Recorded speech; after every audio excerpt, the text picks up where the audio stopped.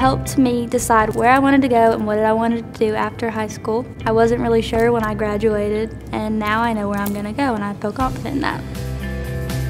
It was a transition, but it was a good transition.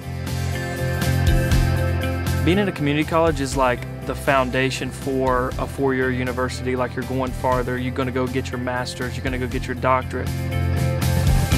My favorite part was just um, seeing them expect so much out of me, and um, it was really cool to, to be pushed. It offered the same degree that I could get at a larger university for a fraction of the cost.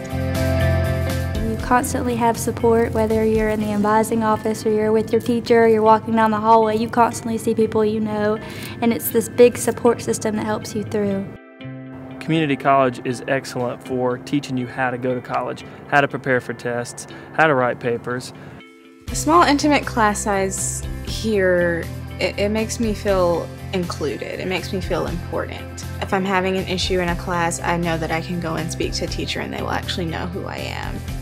The smaller class size helps you get more attention during class, you get more questions answered. Other people's questions actually help you on your journey for learning don't feel as nervous or scared to speak up in front of your class.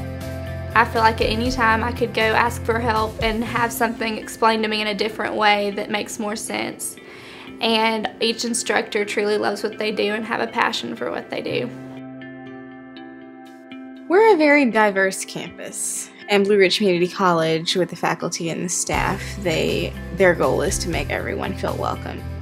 I can go um, from my classes into an afternoon hike, and I haven't traveled more than 20 minutes. And so it's phenomenal just to see the scenery and the beautifulness about Blue Ridge and the campus. I would think the best advice when contemplating whether to go to a larger university or to stay locally, I think locally wins because it's lower cost, but you're still getting the same amount of education.